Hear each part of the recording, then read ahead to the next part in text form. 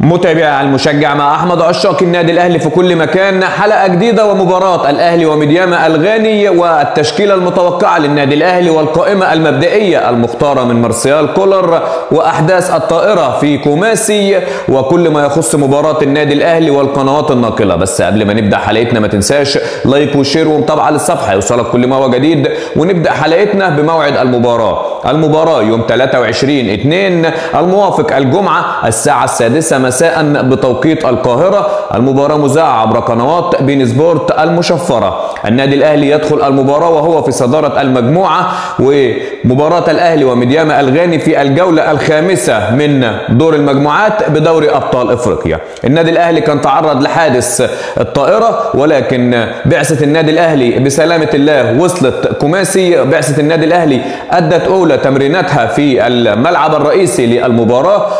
القائمة المبدئية من مارسيال كولر للمباراة. غدا إن شاء الله بتضم في حراسة المرمى كلا من مصطفى شوبير وحمزة علاء وخط الدفاع محمد هاني وأكرم توفيق وكريم الدبيس وعلي معلول ومحمد عبد المنعم ورامي ربيعة وياسر إبراهيم. وفي خط الوسط بيضم كل من إمام عاشور وعمرو السليه وكريم ندفد ومصطفى أبو الخير ومجدي قفشة وحسين الشحات وطاهر محمد طاهر ورضا سليم وبيرسي تاو وكريم فؤاد. وخط الهجوم بيضم كل من وسام أبو علي ومودست. دي القائمة المبدئية من وجهة نظر مارسيال كولر على أن يتم يتم اختيار التشكيلة المتوقعة والتشكيلة المناسبة للمباراة قبل المباراة بساعة إن شاء الله. النادي الأهلي تعرض لحادث بالطائرة في غانا ولكن تم حل المشكلة. لعيبة النادي الأهلي وصلت لفندق الإقامة ودلوقتي بيتمرنوا التمرينة الأولى ليهم في الملعب الرئيسي. كل التوفيق للنادي الأهلي إن شاء الله وحصد الثلاث نقاط والعودة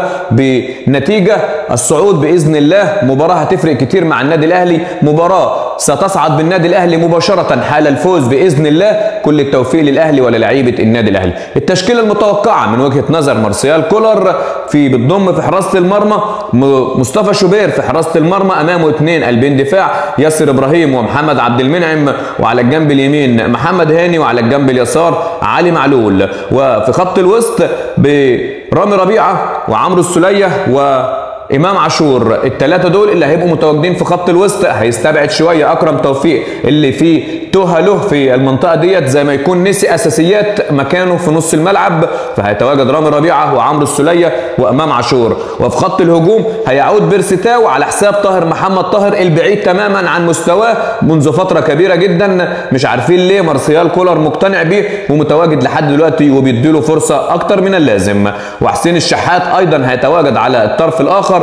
ومودست في الهجوم. حسين الشحات محتاج شغل كتير جدا. حسين الشحات كان من اللعيبة اللي أخطأت كتير جدا في المباراة الماضية. كان عنده ميس باص كبير جدا. كان عدم الاستخلاص ما كانش بيحافظ على كورته بصفة جيدة جدا كانت الكرة بتنقطع منه بسهولة ومودست رأس حربة نظرا لغياب كهربا عشان فرح أخته وانضمام وسام أبو علي متاخرا لقائمة النادي الأهلي. نتمنى التوفيق لمودست وحسين الشحات ولجميع لعيبة النادي الأهلي وإن شاء الله الفوز والثلاث نقاط من أرض مدياما الغاني في غانا بإذن الله. كل التوفيق للنادي الأهلي.